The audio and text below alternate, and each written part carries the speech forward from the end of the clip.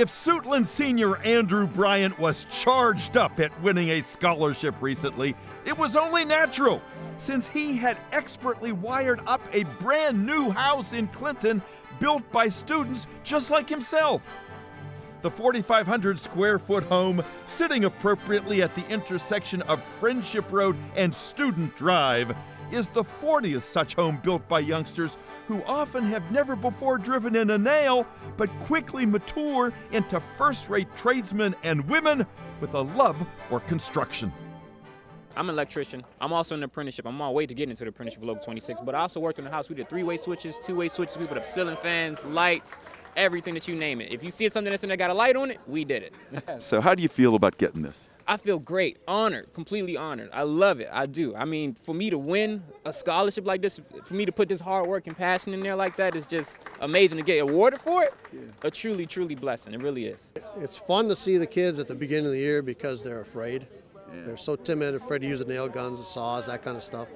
And after a couple weeks, they're fighting over the saw and fighting over the nail gun because they like to use it. You know, so it's it's it's a lot of learning curve, but you get to see the kids. You know, it's kind of like their babies when they first get here.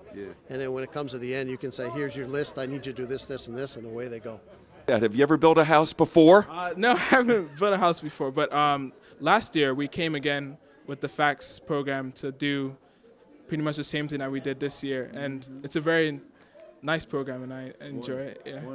With its 16 rooms, including a spectacular bathroom sporting a sunken tub, his and her closets, and enough room to throw a party.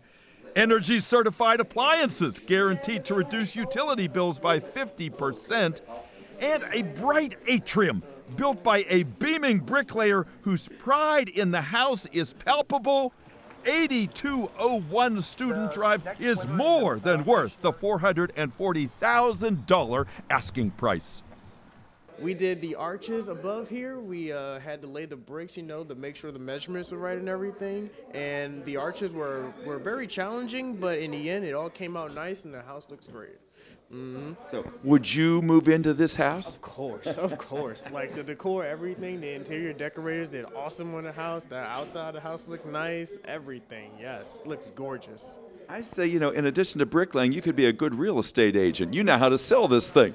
yeah, I mean, got a little skills here and there. Jaquan, like Andrew and Kofi and 15 other of the 110 students in the FACS program, received not only a scholarship at the dedication of the house, but also the hearty endorsement of his mom.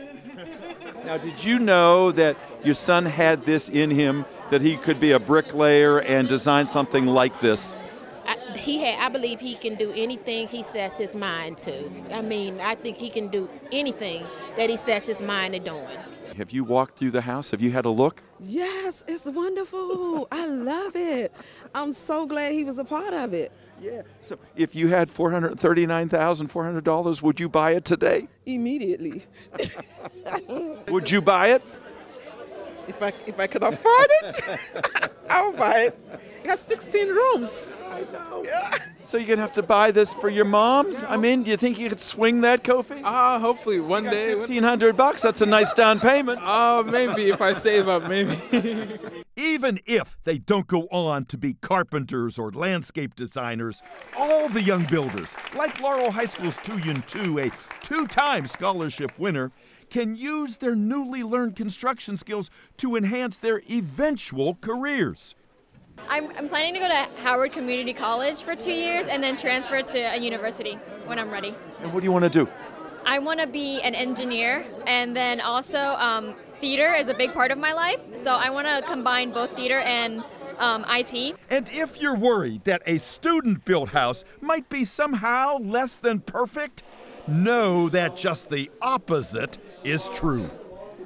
Each of these houses in this cul-de-sac have been built, and they would certainly be um, outstanding recommendations from those homeowners regarding the quality of the homes and the support that they receive if anything goes wrong, which we haven't had in all of these years. So, whether or not you're in the market for a home right now, do drive by the houses on Student Drive to get a glimpse of the handiwork of some highly talented youngsters who are the pride of Prince George's County and especially their moms.